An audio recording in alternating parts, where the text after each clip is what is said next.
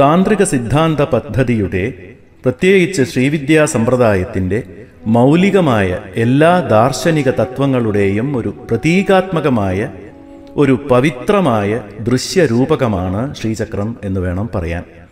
അതുകൊണ്ട് ശ്രീവിദ്യാപരമായ താന്ത്രിക ആരാധനകളിൽ അനന്യമായ അതിവിശിഷ്ടമായ ഒരു സ്ഥാനമാണ് ശ്രീചക്രത്തിനുള്ളത്.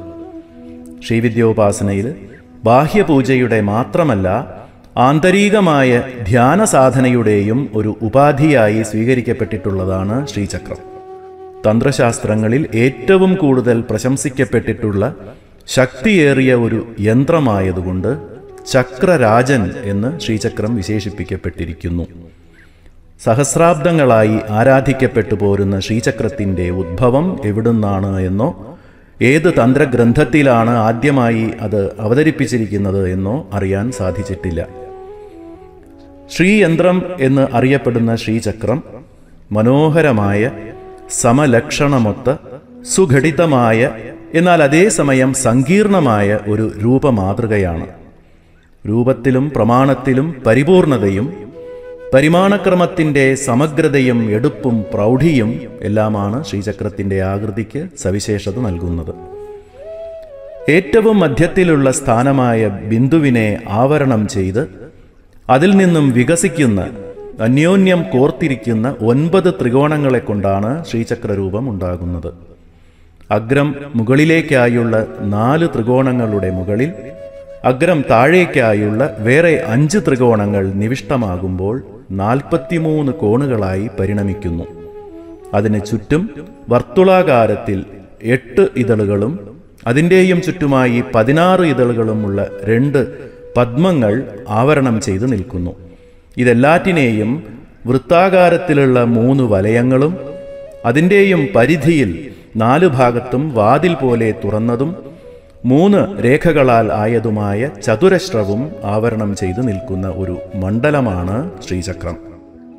ജിയോമെട്രി എന്ന് പറയുന്ന ക്ഷേത്രഗണിതത്തിൽ ബഹുഭുജത്തിലെ ഭുജങ്ങളുടെ എണ്ണം പരമാവധി വർദ്ധിപ്പിച്ചാൽ അത് ബഹുഭുജം എന്ന സ്വഭാവം വിട്ട് വൃത്തമായി തീരും. നേരെ തിരിച്ച് ഭുജങ്ങളുടെ എണ്ണം പരമാവധി കുറച്ചു കൊണ്ടുവന്നാൽ അതൊരു ത്രികോണമായി തീരും. മൂന്നിൽ കുറഞ്ഞ ഭുജങ്ങളുള്ള ബഹുഭുജമില്ല. ഇപ്രകാരം ത്രികോണത്തിൽ തുടങ്ങി വൃത്തത്തിൽ അവസാനിക്കുന്ന ഒരു വ്യവസ്ഥയാണ് ശ്രീചക്രത്തിലുള്ളത് എന്ന് മനസ്സിലാക്കാൻ കഴിയും. ഏറ്റവും മധ്യസ്ഥാനമായ ബിന്ദുവിൽ നിന്നും ഏറ്റവും പുറത്തുള്ളതായ ചതുരശ്രം വരെ ഒൻപത് ഭാഗങ്ങളായിട്ടാണ് ശ്രീചക്രം വിഭജിക്കപ്പെട്ടിരിക്കുന്നത്. ഈ ഒൻപതും പ്രത്യേകമായ വിശേഷനാമങ്ങളാൽ ആണ് അറിയപ്പെടുന്നത്. ബിന്ദു അല്ലെങ്കിൽ ഏറ്റവും നടുവിലുള്ള പുള്ളി സർവാനന്ദമയ ചക്രം എന്നറിയപ്പെടുന്നു. അതിന്റെ ചുറ്റുമുള്ള ത്രികോണം അതായത് പ്രഥമ ത്രികോണം സർവസിദ്ധിപ്രദ ചക്രം എന്നറിയപ്പെടുന്നു. അതിനു ചുറ്റും അഗ്രങ്ങളിൽ ആകെ എട്ട് കോണുകളുള്ള അഷ്ടകോണത്തിന് സർവരോഗഹര ചക്രം എന്നാണ് പേര്. അടുത്തത് ചുറ്റും അഗ്രങ്ങളിൽ പത്ത് കോണുകളായിട്ടുള്ള അന്തർദശാരം സർവരക്ഷാകര ചക്രം എന്നറിയപ്പെടുന്നു. അതിന്റെയും പുറത്തുള്ള മറ്റൊരു പത്ത് കോണുകളുള്ള ബഹിർദശാരത്തിന് സർവാർത്ഥ സാധക ചക്രം എന്നാണ് പേര്. അതിനും പുറത്തുള്ള പതിനാല് കോണുകളുള്ള ചതുർദശാരം സർവസൗഭാഗ്യദായക ചക്രം ആണ്. അതിനു ചുറ്റുമുള്ള വൃത്തത്തിൽ എട്ട് ഇതളുകളുള്ള അഷ്ടദള പത്മമാണ് സർവസംക്ഷോഭണ ചക്രം അഷ്ടദളത്തിന് ചുറ്റുമുള്ള പതിനാറ് ഇതളുകളുള്ള ഷോഡശദള പത്മം സർവാശാ പരിപൂരക ചക്രം എന്നറിയപ്പെടുന്നു. ഏറ്റവും പുറത്തായിട്ട് നാല് ഭാഗങ്ങളിലും തുറന്നിട്ടുള്ള മൂന്ന് വരകളാലായ ചതുരശ്രം ഭൂപുരം ആണ് അതിന് ത്രൈലോക്യമോഹന ചക്രം എന്നാണ് പേര്. ഏകകേന്ദ്രമായും അനുക്രമമായുമുള്ള വലയങ്ങൾ അതിനുള്ളിലുള്ള പദ്മങ്ങൾ ത്രികോണങ്ങൾ രേഖകൾ ഇവയെല്ലാം വീക്ഷിക്കപ്പെടുന്നത് പ്രപഞ്ചത്തിന്റെ സൃഷ്ടി ലയങ്ങളുടെ വിവിധ ഘട്ടങ്ങളിലായുള്ള ശക്തിയുടെ ചലനമാർഗങ്ങളെയും പടിപ്പടിയായ ആവിഷ്കരണ തലങ്ങളെയും പ്രതിനിധാനം ചെയ്യുന്ന പ്രതീകാത്മക മാതൃകകളായാണ്. അനേകം മാനങ്ങൾ ഡയമെൻഷൻസ് ഉള്ളതായി മനസ്സിലാക്കേണ്ട പ്രപഞ്ച സർജന വേദിയെ രണ്ട് മാനങ്ങൾ മാത്രമുള്ള ഒരു രേഖാചിത്രമായി അവതരിപ്പിച്ചിരിക്കുകയാണ്. ശിവശക്തികളുടെ സാമരസ്യ രൂപമായ മധ്യബിന്ദുവിൽ നിന്നും പടിപ്പടിയായി വികസിച്ച് ഏറ്റവും പുറത്തുള്ള ഭൂപുരമായി പ്രപഞ്ചമായി രൂപാന്തരപ്പെടുന്നു എന്നതാണ് ശ്രീചക്രത്തിന്റെ സൂക്ഷ്മതത്വം. പ്രകാശവിമർശ സ്വരൂപന്മാരായ ശിവശക്തികളിൽ നിന്നും പഞ്ചഭൂതാത്മകമായ പ്രപഞ്ചം വരെ മുപ്പത്തിയാറ് തത്വങ്ങളിലൂടെയുള്ള സൃഷ്ടിയും വീണ്ടും പ്രപഞ്ചം ശിവശക്തികളിൽ തന്നെ ഒടുങ്ങുന്ന ലയവും സൂക്ഷ്മതലത്തിൽ സൂചിപ്പിക്കുന്നതാണ് ശ്രീചക്രത്തിന്റെ രൂപഘടന. അതുകൊണ്ട് സംഹാരക്രമം സൃഷ്ടിക്രമം എന്ന രണ്ട് വ്യതിരിക്തമായ രീതിയിലാണ് ശ്രീചക്രം ആലേഖനം ചെയ്യുന്നത്. കൗള സമ്പ്രദായ പ്രകാരവും സമയസമ്പ്രദായ പ്രകാരവുമാണ് ഇത്. കൗള സമ്പ്രദായത്തിൽ സംഹാരക്രമത്തിലാണ് ശ്രീചക്രത്തിന്റെ ആവിഷ്കരണം. അതായത് ആദ്യം ഒരു വൃത്തവും പിന്നീട് അതിനുള്ളിൽ ഒൻപത് തിരശ്ചീനമായ വിലങ്ങനെയുള്ള രേഖകളും വരച്ച് അവയിൽ നിന്നും പാർശ്വരേഖകളുണ്ടാക്കി നാല് ഊർധ്വമുഖ ത്രികോണങ്ങളും അഞ്ച് അധോമുഖ ത്രികോണങ്ങളും വരച്ച് മുഴുമിപ്പിക്കുന്നതാണ് സംഹാരക്രമത്തിലുള്ള ശ്രീചക്ര ലേഖനക്രമം സൃഷ്ടിക്രമത്തിൽ വരയ്ക്കുന്നത് സമയരീതിയാണ്. ആദ്യം പ്രഥമ ത്രികോണം വരച്ച് അതിന്റെ ഉള്ളിൽ ബിന്ദു അടയാളപ്പെടുത്തി പിന്നീട് ആ പ്രഥമ ത്രികോണത്തിന്റെ മൂന്ന് രേഖകളെയും പുറത്തേക്ക് നീട്ടി വലിച്ച് യഥാക്രമം അഷ്ടകോണം രണ്ട് ദശാരങ്ങൾ ചതുർദശാരം എന്നിങ്ങനെ ഭൂപുരം വരെ വ്യാപിക്കുന്നതാണ് സൃഷ്ടിക്രമത്തിലുള്ള ശ്രീചക്രലേഖന ക്രമം അതിപുരാതനവും പരമപാവനവുമായ ഒരു രേഖാഗണനമായതുകൊണ്ട് ശ്രീചക്രലേഖന രീതി പല തന്ത്രഗ്രന്ഥങ്ങളിലും വിശദീകരിക്കപ്പെട്ടിട്ടുണ്ടെങ്കിലും അവയിൽ പലതും അസ്പഷ്ടമായിട്ടാണ് കാണുന്നത്. അഷ്ടദള വൃത്തത്തിന്റെ മധ്യത്തിലുള്ളത് പരസ്പരം പിണഞ്ഞിരിക്കുന്ന ഒൻപത് ത്രികോണങ്ങളാണ്. അതിലെ ഓരോ ത്രികോണവും മറ്റുള്ള ത്രികോണങ്ങളുമായി സമാനമായുള്ള അളവുകളിലാണ് യോജിച്ച് നിൽക്കുന്നത്. അതുകൊണ്ട് തന്നെയാണ് അത് കൃത്യമായ രീതിയിൽ ആലേഖനം ചെയ്യുന്നതിൽ ബുദ്ധിമുട്ടുണ്ടാവുന്നതും. ഏതെങ്കിലും ഒരു ത്രികോണത്തിന്റെ സ്ഥാനമോ പരിമാണമോ മാറിയാൽ മറ്റെല്ലാ ത്രികോണങ്ങളുടെ സ്ഥിതിയും മാറും. എന്നാൽ ശ്രീചക്രം കൃത്യമായും സ്പഷ്ടമായും ആലേഖനം ചെയ്യാനുള്ള മാർഗം ആദ്യമായി അവതരിപ്പിച്ചത് ശ്രീ ഉമാനന്ദനാഥൻ എന്ന ഒരു പണ്ഡിത ഉപാസകനാണ് എന്ന് പറയാം. അദ്ദേഹത്തിന്റെ ആരാധനാ സമ്പ്രദായമനുസരിച്ചുള്ള രീതിയുമാണ് അത്. മഹാരാഷ്ട്ര ബ്രാഹ്മണനായ ശ്രീ ഉമാനന്ദനാഥൻ ശ്രീവിദ്യാ സാധനയിൽ ദീക്ഷിതനും തികഞ്ഞ പണ്ഡിതനുമാണ്. അദ്ദേഹത്തിന്റെ യഥാർത്ഥ നാമം ജഗന്നാഥ പണ്ഡിതൻ എന്നാണ്. ഉമാനന്ദനാഥൻ എന്നത് ദീക്ഷാനാമമാണ്. ശ്രീ ലളിതാ സഹസ്രനാമത്തിന് സൗഭാഗ്യഭാസ്കരം വ്യാഖ്യാനവും വേറെയും പല വിഖ്യാത ഗ്രന്ഥങ്ങളും രചിച്ചിട്ടുള്ള അതിവിശിഷ്ട പണ്ഡിതനും ഉപാസക ശ്രേഷ്ഠനുമായ ശ്രീ ഭാസ്കരരായരുടെ ശിഷ്യനാണ് ശ്രീ ഉമാനന്ദനാഥൻ. പരശുരാമ കൽപ്പസൂത്രത്തിന്റെ അനുഷ്ഠാന വിധികൾക്കും മന്ത്രങ്ങൾക്കും ശ്രീവിദ്യ ആരാധനാ പദ്ധതികളുടെ മനസ്സിലാക്കാൻ ബുദ്ധിമുട്ടുള്ള സങ്കീർണമായ ഭാഗങ്ങൾക്കും വിശദീകരണം നൽകിക്കൊണ്ടുള്ള ഒരു അനുബന്ധ ഗ്രന്ഥമായി ശ്രീ ഉമാനന്ദനാഥൻ എഴുതിയതാണ് നിത്യോത്സവം എന്ന ഗ്രന്ഥം. ഗ്രന്ഥാവസാനത്തിൽ ശ്രീ ഉമാനന്ദനാഥൻ കലിവർഷം നാലായിരത്തി എണ്ണൂറ്റി എഴുപത്തി ആറ് ശകാബ്ദം ആയിരത്തി അറുന്നൂറ്റി തൊണ്ണൂറ്റിയേഴിലാണ് അതായത് ക്രിസ്ത്വാബ്ദം ആയിരത്തി എഴുന്നൂറ്റി എഴുപത്തഞ്ചിൽ ആണ് നിത്യോത്സവത്തിന്റെ രചന പൂർത്തിയാക്കിയത് എന്ന് അറിയിച്ചിരിക്കുന്നു. തഞ്ചാവൂരിലെ മറാഠിയ രാജവംശത്തിലെ രാജാക്കന്മാരിൽ നിന്നും താൻ ധാരാളം ബഹുമതികൾ സ്വീകരിച്ചിട്ടുണ്ട് എന്ന പരാമർശം നിത്യോത്സവത്തിൽ കാണുന്നതുകൊണ്ട് ശ്രീ ഉമാനന്ദനാഥൻ ദക്ഷിണേന്ത്യയിൽ തമിഴ്നാട്ടിൽ ആയിരിക്കണം ജീവിച്ചിരുന്നത്. നിത്യോത്സവത്തിന്റെ ശ്രീക്രമം എന്ന പേരുള്ള തൃതീയ ഉല്ലാസത്തിന്റെ രണ്ടാം ഭാഗമായ സപര്യ പ്രകരണത്തിലാണ് ശ്രീ ഉമാനന്ദനാഥൻ ശ്രീചക്രലേഖന പ്രകാരം കൊടുത്തിരിക്കുന്നത്. നിത്യോത്സവത്തിൽ പറഞ്ഞിട്ടുള്ളതനുസരിച്ച് ശ്രീചക്രം വരയ്ക്കാനുള്ള വിശദവും സ്പഷ്ടവുമായ പടിപ്പടിയായുള്ള രീതി പ്രകാശിപ്പിക്കുക എന്നത് മാത്രമാണ് എന്റെ ഈ അവതരണത്തിന്റെ ഉദ്ദേശ്യം. അതുകൊണ്ട് ചക്രസങ്കേതം എന്ന് വിശേഷിപ്പിക്കപ്പെട്ടിട്ടുള്ള ശ്രീചക്രത്തിന്റെ താത്വികമായ നിഗൂഢതകളിലേക്കോ ഗൂഢാർത്ഥ സൂചകമായ സാങ്കേതിക സംജ്ഞകളിലേക്കോ പ്രപഞ്ചോത്പത്തിയുമായി ബന്ധമുള്ള അതിന്റെ കൂടുതൽ ആഴവും അഖണ്ഡവുമായ പഠനങ്ങളിലേക്കോ അതായത് പിണ്ടാണ്ട ബ്രഹ്മാണ്ടപരമായ അർത്ഥനിരൂപണങ്ങളിലേക്കോ അതുപോലെ തന്നെ ശ്രീചക്രത്തിലെ അധിഷ്ഠാതൃശക്തികളായ ആവരണ ദേവതകൾ യോഗിനികൾ ബീജാക്ഷരങ്ങൾ മന്ത്രങ്ങൾ മുദ്രകൾ മുതലായവയുടെ വിശദാംശങ്ങളിലേക്കോ ശ്രീചക്രത്തിന്റെ വിപുലമായ സപര്യാ പദ്ധതിയായ നവാവരണ പൂജ മുതലായുള്ള ആരാധനാക്രമങ്ങളുടെ വിവരങ്ങളിലേക്കോ ഒന്നും കടക്കുന്നില്ല.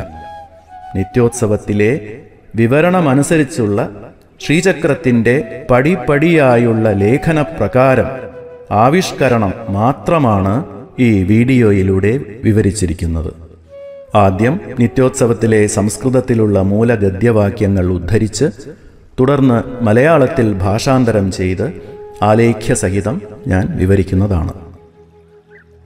സാധകോ യാദിശ അഭിമുഖ സൈവ പ്രാചി തദിതര പ്രതീചി. സാധകൻ ഏത് ദിക്ക് അഭിമുഖമായി ഇരിക്കുന്നുവോ അതാണ് കിഴക്ക്. അതിന് നേരെതിരുള്ളത് പടിഞ്ഞാറ്. ശ്രീചക്രം ആലേഖനം ചെയ്യുമ്പോൾ ഏറ്റവും മുകളിലുള്ള ദിശ കിഴക്കും അവിടം തൊട്ട് യഥാക്രമം മറ്റ് ദിശകളും കണക്കാക്കേണ്ടതാണ്. ഈശാനാദ്യാഗ്നേയാന്ത വായവ്യാധി നൈരുത്യാന്താവ രേഖ തിര്യഗ്രേഖേത്യുച്ചതെ വടക്ക് കിഴക്ക് മൂലയിൽ നിന്നും തെക്ക് കിഴക്ക് മൂലയിലേക്കും അതുപോലെ വടക്ക് പടിഞ്ഞാറ് മൂലയിൽ നിന്നും തെക്ക് പടിഞ്ഞാറ് മൂലയിലേക്കുമുള്ള രേഖകൾ തിര്യക് രേഖകൾ എന്ന് അറിയപ്പെടുന്നു. അതായത് വിലങ്ങനെയുള്ള വരകൾ. തസ്യയേവ അഗ്രദ്വയാദാകൃഷ്ടേ പ്രാച്യാം പ്രതീച്യാം വാ ച പാർശ്വരേഖേ ഇത്യുച്ചത്തെ അവയുടെ അഗ്രത്തിൽ നിന്നും തുടങ്ങി കിഴക്ക് വശത്തും പടിഞ്ഞാറ് വശത്തുമായി യോജിക്കുന്ന രേഖകൾ പാർശ്വരേഖകൾ എന്ന് അറിയപ്പെടുന്നു.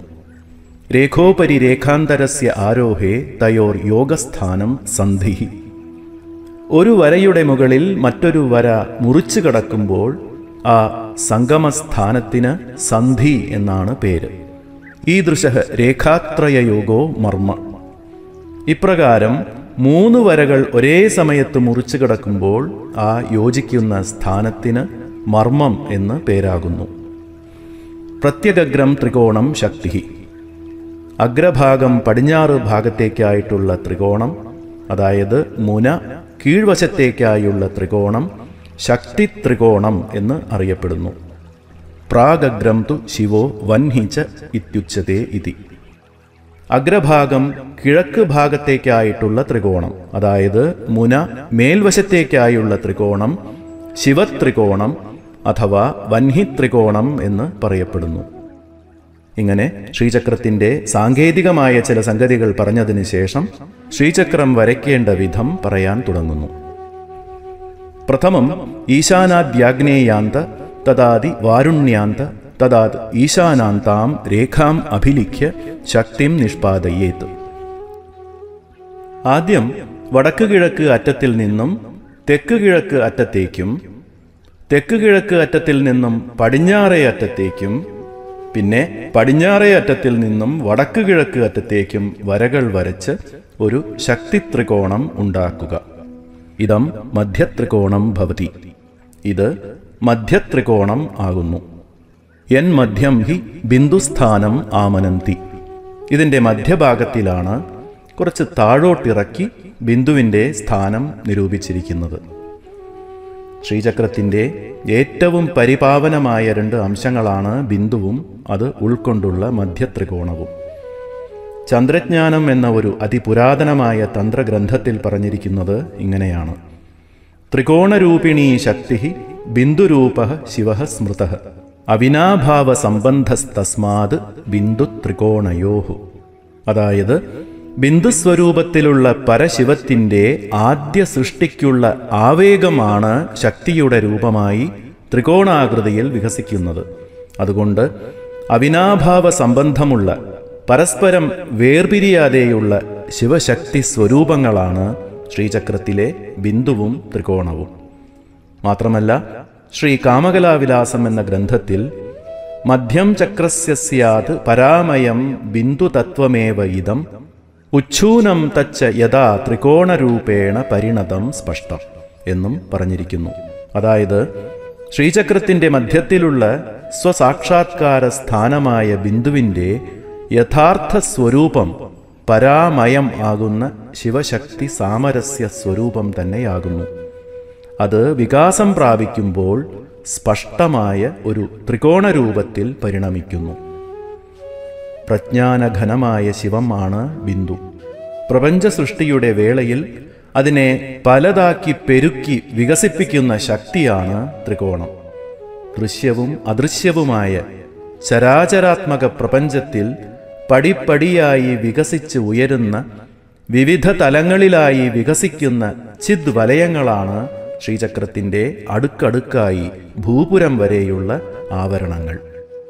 അഥ അസ്യ മധ്യത പാർശ്വരേഖാദ്വയ നിർഭേദപൂർവകം പ്രാഗ്വച്ഛക്യന്തരം കൽപ്പയേത്.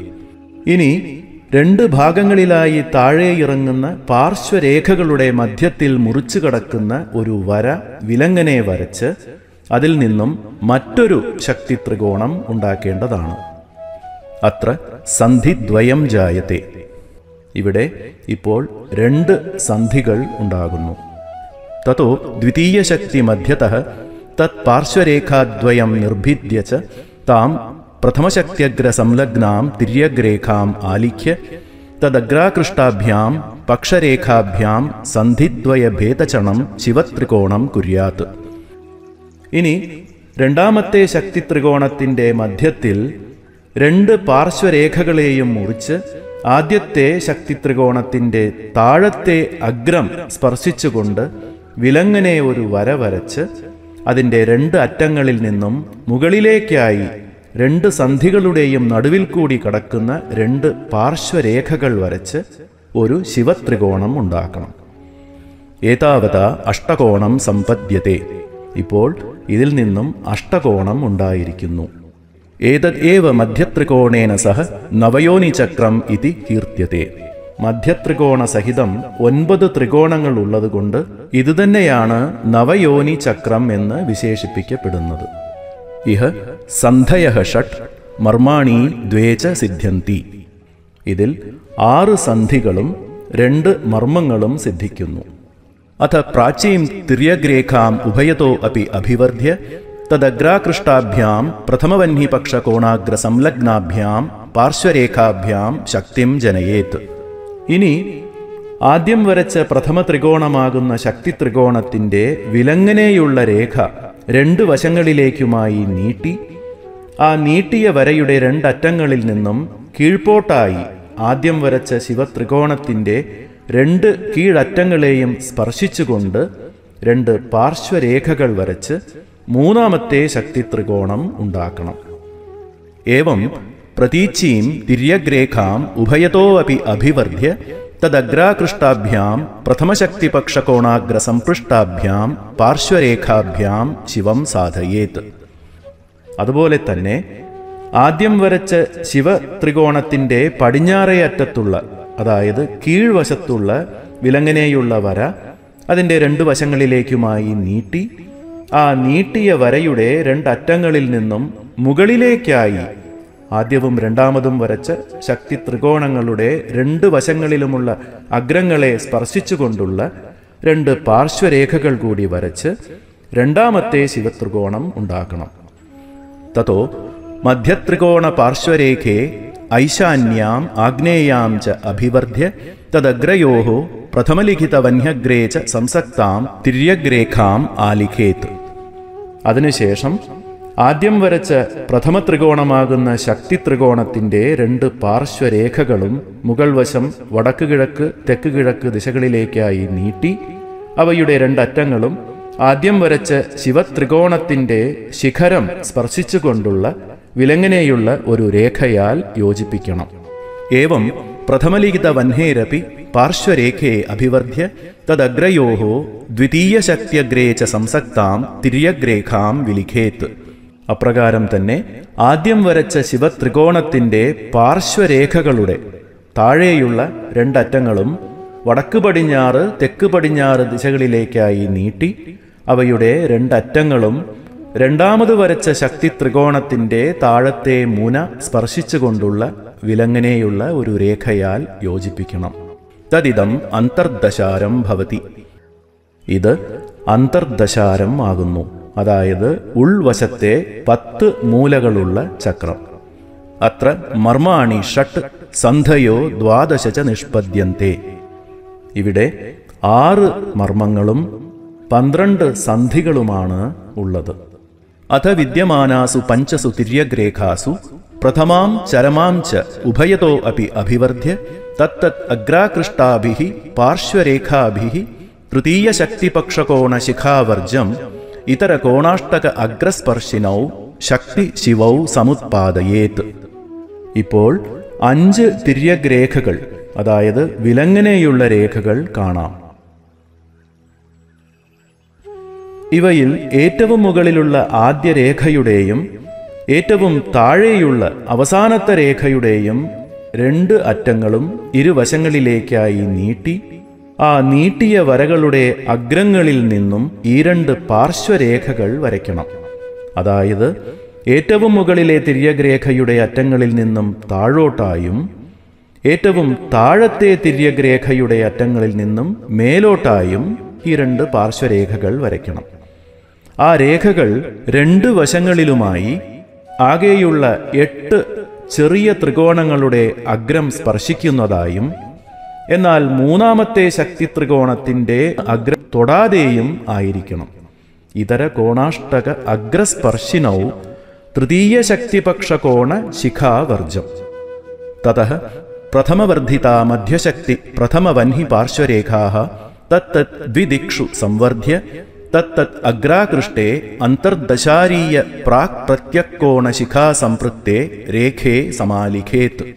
ഇനി ആദ്യം വരച്ച ശക്തി ത്രികോണത്തിന്റെ രണ്ട് പാർശ്വരേഖകളും മുകളിലേക്കായി രണ്ട് വശങ്ങളിലേക്കും നീട്ടിയും അതുപോലെ തന്നെ ആദ്യം വരച്ച ശിവത്രികോണത്തിന്റെ രണ്ട് പാർശ്വരേഖകളും താഴേക്കായി രണ്ട് വശങ്ങളിലേക്കും നീട്ടിയും വരച്ച് അവയുടെ അറ്റങ്ങൾ മുകളിലും താഴെയും രണ്ട് വിലങ്ങനെയുള്ള വരകളെ കൊണ്ട് യോജിപ്പിക്കണം. അവ അന്തർദശാരത്തിന്റെ കിഴക്ക് വശത്തുള്ള അതായത് രണ്ടാമത്തെ ശിവത്രികോണത്തിന്റെ മുകളിലുള്ള ശിഖരത്തെയും പടിഞ്ഞാറ് വശത്തുള്ള മൂന്നാമത്തെ ശക്തി ത്രികോണത്തിന്റെ താഴത്തെ അറ്റത്തെയും സ്പർശിച്ചുകൊണ്ടുള്ളതായിരിക്കണം. അന്തർദശാരീയ പ്രാക് പ്രത്യക്കോണ ശിഖാ സംപൃക്താഹ രേഖാഹ. തദേതത് ബഹിർദശാരം ഭണ്യത്തെ ഇതിനെയാണ് ബഹിർദശാരം എന്ന് പറയുന്നത്. അതായത് പുറത്തുള്ള പത്ത് മൂലകളോടുകൂടിയ ചക്രം. ഇഹ മർമാണി ദശ സന്ധയോ അഷ്ടാദശ ച ഉന്മീലന്തി. ഇവിടെ പത്ത് മർമ്മങ്ങളും പതിനെട്ട് സന്ധികളും ഉണ്ടായിരിക്കുന്നു.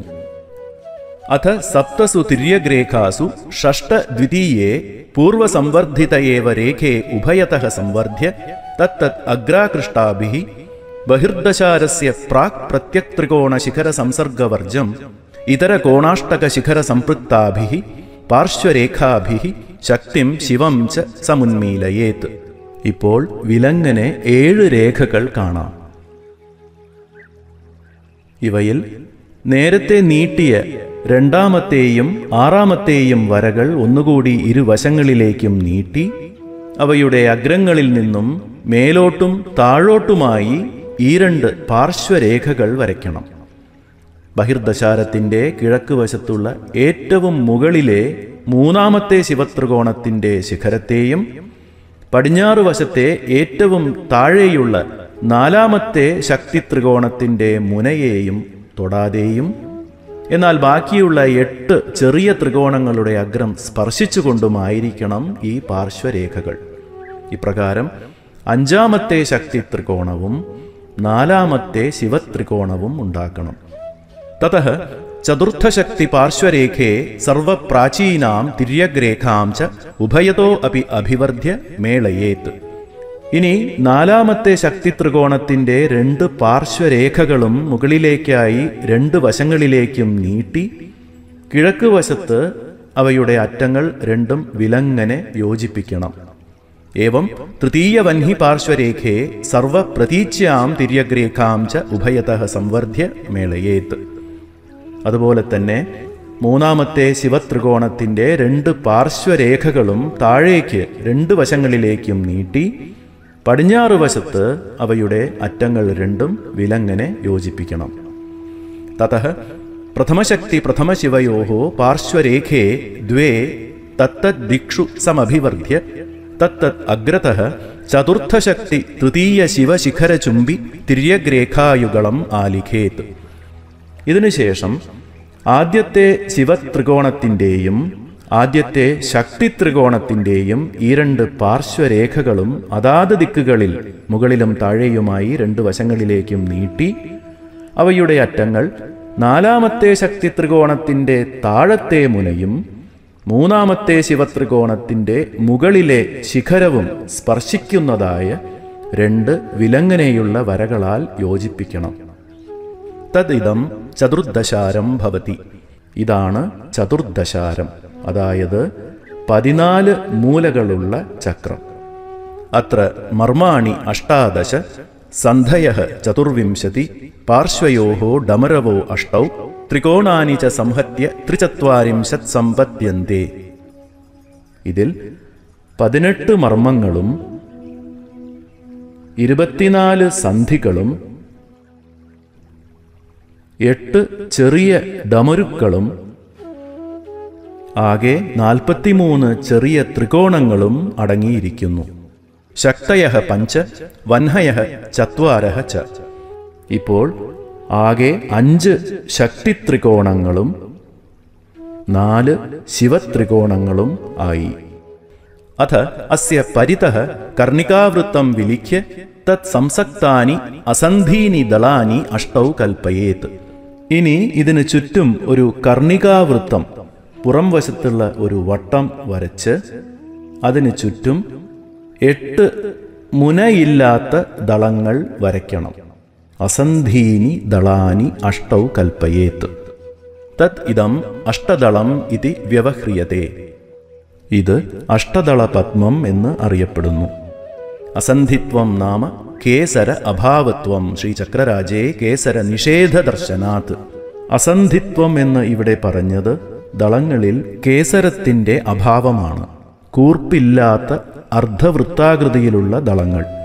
കാരണം ശ്രീചക്രരാജനിൽ കേസരം കൂർത്ത അഗ്രം പാടില്ല എന്ന് പറഞ്ഞിട്ടുള്ളത് കൊണ്ട് ഇത് ശ്രീ ഉമാനന്ദനാഥന്റെ ദീക്ഷാ സമ്പ്രദായത്തിലുള്ള നിയമം മാത്രമാണ്.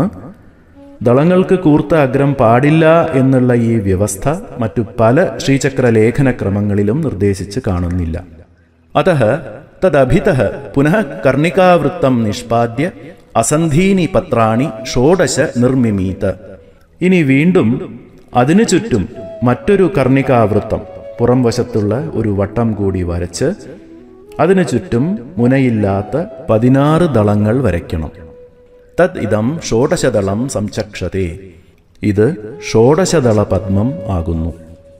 അത തത് ബഹിർ മര്യാദാവൃത്തത്രയം പരികൽപ്യ തത് പരിത ചതുരശ്രരേഖാത്രയേണ ചതുർദ്വാരം ഭൂപുരം സമുദ്ഭാവയേത്. പിന്നീട് അതിന്റെയും പുറത്ത് മൂന്ന് പരിധി വലയങ്ങൾ വരയ്ക്കണം. വൃത്തത്രയം എന്ന് പറയുന്ന ഈ മൂന്ന് വട്ടങ്ങൾ ചില സമ്പ്രദായങ്ങളിൽ അനുവദനീയമല്ല. ഷോഡശതലത്തിന് ചുറ്റുമുള്ള മൂന്ന് വലയങ്ങൾ ശ്രീ ഉമാനന്ദനാഥന്റെ ഗുരുപരമ്പരയിൽപ്പെട്ട ആനന്ദ ഭൈരവ സമ്പ്രദായ പ്രകാരം ആണ്. എന്നിട്ട് അതിനു ചുറ്റും മൂന്ന് രേഖകളായിട്ടുള്ള ഒരു ചതുരശ്രം നാലു ഭാഗത്തും കവാടം പോലെ തുറന്നുള്ള ഭൂപുരം വരയ്ക്കേണ്ടതാണ്. ഇതി ശ്രീചക്രലേഖന പ്രകാര ശ്രീചക്രം ആലേഖനം ചെയ്യേണ്ടത് ഇപ്രകാരമാണ്. നിത്യോത്സവം എന്ന ഗ്രന്ഥത്തിന്റെ തൃതീയ ഉല്ലാസത്തിലെ ശ്രീചക്രലേഖന പ്രകാര എന്ന ഭാഗം ഇങ്ങനെ അവസാനിക്കുന്നു. ശ്രീ ഉമാനന്ദനാഥൻ വിവരിച്ചിട്ടുള്ള ഈ ശ്രീചക്രലേഖന പ്രകാരം അദ്ദേഹത്തിന് കർണാത് കർണോപദേശേന ഗുരുമുഖമായി ലഭിച്ചിട്ടുള്ള പരമ്പരാഗതമായ അറിവിനെ അവലംബിച്ചതായിരിക്കണം എന്ന് വേണം കരുതാൻ. അതല്ലാതെ അദ്ദേഹം സ്വയം ഉണ്ടാക്കിയ ഒരു രീതിയാവാൻ സാധ്യതയില്ല. അതിഗഹനവും സങ്കീർണവുമായ ഒരു രേഖാചിത്രമായ ശ്രീചക്രത്തിന്റെ ആവിഷ്കരണം അതിലളിതമായും വളരെ കൃത്യമായും അസന്ദിഗ്ധമായും ആലേഖനം ചെയ്യുന്ന രീതി പ്രാചീനരായ ശ്രീവിദ്യോപാസക ഗുരുവര്യന്മാരുടെ ജ്ഞാനത്തിൽ പരിണമിച്ചിരുന്നു എന്നത് ആശ്ചര്യജനകമായ ഒരു സത്യം തന്നെയാണ്.